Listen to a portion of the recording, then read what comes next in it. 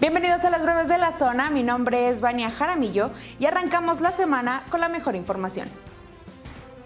El colectivo de búsqueda Una promesa por cumplir instaló un altar de muertos en la comunidad del Sabino en Pénjamo, luego de que el gobierno municipal no les diera facilidades para hacerlo en la plaza pública. Actualmente el colectivo está integrado por 35 familias que buscan a sus seres queridos, 15 familias en Pénjamo, 3 de Moroleón, 3 de Apaseo el Grande, 5 de Celaya, 2 de Salamanca y el resto de otros municipios.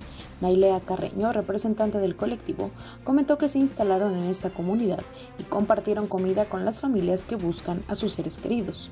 Dijo que la ofrenda tiene la foto de las personas desaparecidas y también de las que ya fueron ubicadas en fosas en varios municipios pertenecientes al colectivo.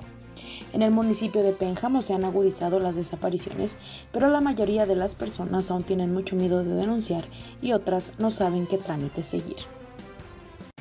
En el Poder Judicial del Estado de Guanajuato nos encontramos preparados para dar inicio al nuevo sistema de justicia laboral. A partir del 3 de noviembre, el Poder Judicial resolverá los conflictos obrero-patronales mediante juicios orales ágiles y transparentes. En presencia de un juez, emitirá sentencias justas y en estricto apego a derecho, generando paz y estabilidad social. Poder Judicial del Estado de Guanajuato.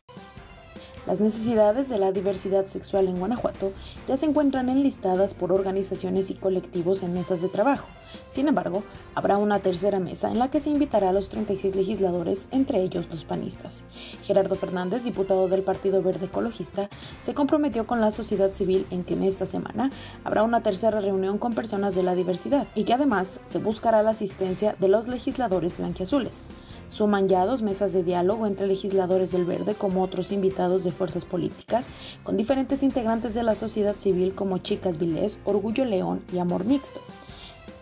En la segunda reunión, el legislador compartió que esta semana tendrá que definirse en la Comisión de Justicia el calendario de revisión de las iniciativas en temas de diversidad y se definirá la metodología. En la primera mesa en León hace dos semanas estuvo de forma virtual la legisladora Yulma Rocha del Partido Revolucionario Institucional. En esta segunda mesa asistió Desiree Ángel también a distancia, representante de Movimiento Ciudadano.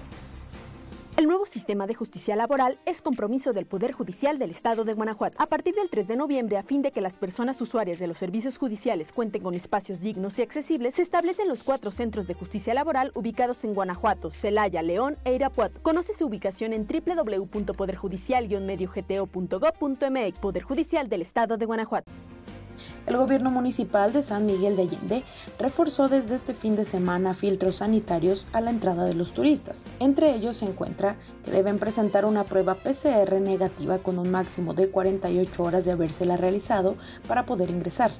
El operativo se implementa en cuatro accesos a San Miguel de Allende y están presentes un elemento de tránsito, dos elementos de seguridad y una unidad de protección civil los accesos donde se colocaron los filtros son la salida A la altura del acceso del polígono empresarial, la salida Celaya a la altura de Santa Teresita de Don Diego, la carretera Guanajuato a la altura de Comunidad La Esperanza y carretera Dolores Hidalgo a la altura de la Glorieta Ventanas.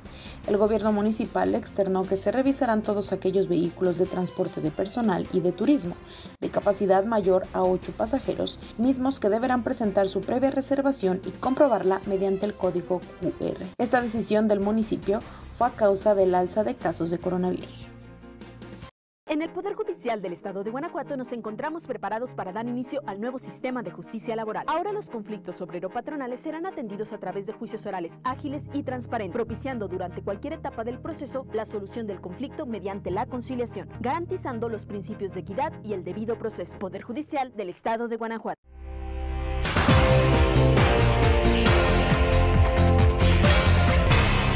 Checa todos los detalles en zonafranca.mx, lo puedes hacer también a través de todas nuestras redes sociales y por supuesto mañana Carmen Martínez tiene para ti mucho más información.